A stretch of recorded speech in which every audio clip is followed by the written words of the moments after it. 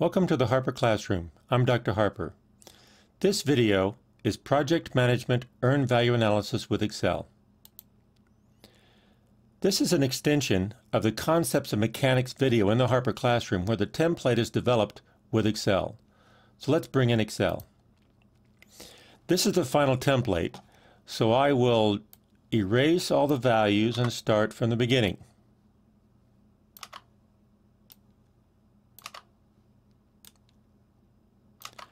So the EVA, $12,500 is the actual cost, the percent completed is given, and the plan value is given. So first, we sum every row.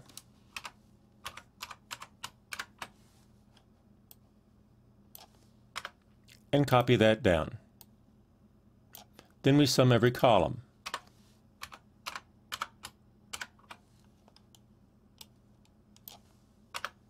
And copy that over. Then we sum all of the plan value in the cost baseline. And then we determine the earned value.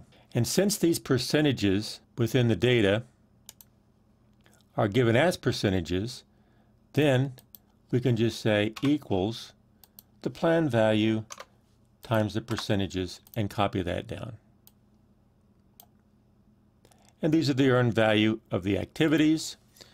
We sum all the earned values to get the earned value of the EVA, since these percent completed is at the end of March, which is the EVA.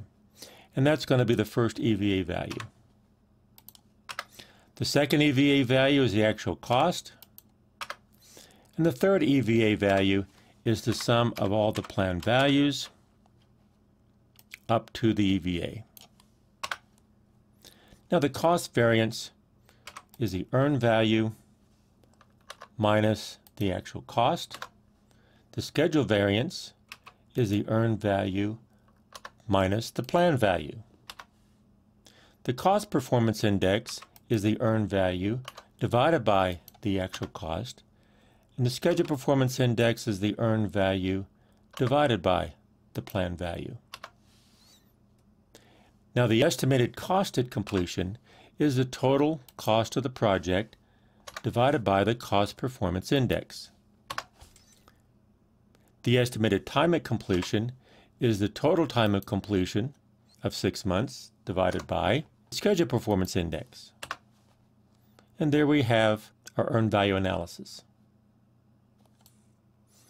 So now that we have the template, this information can be used to manage projects and to negotiate the completion of projects.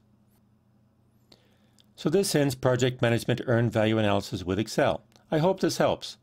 Thanks for watching.